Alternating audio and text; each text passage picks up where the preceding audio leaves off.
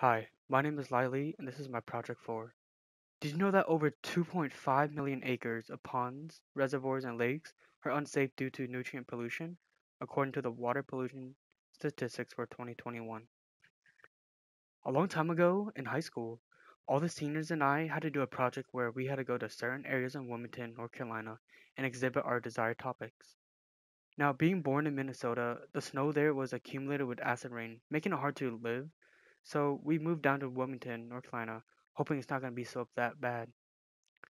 This senior project is based on helping out the community and environment by creating an idea or product that can help the community in the short and long run. For my senior project, I created a four month long plan to help spread the awareness of pollution and decrease it too.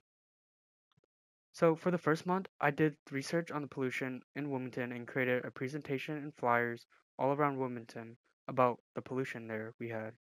Some facts were that all around the world in China, almost everyone had to wear masks even before the virus, just because the pollution there was so bad.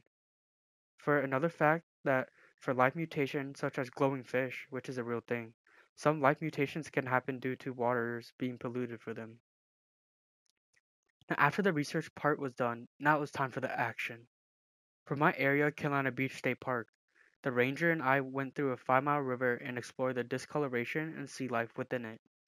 I, every day for three months, went to the park and helped clean up by picking up trash and create flyers about keeping our park safe and clean. Now, as time went past by, I've collected about 12 full trash bags of plastic and trash. On the final week, we noticed that the trash and pollu plastic pollution production has decreased significantly.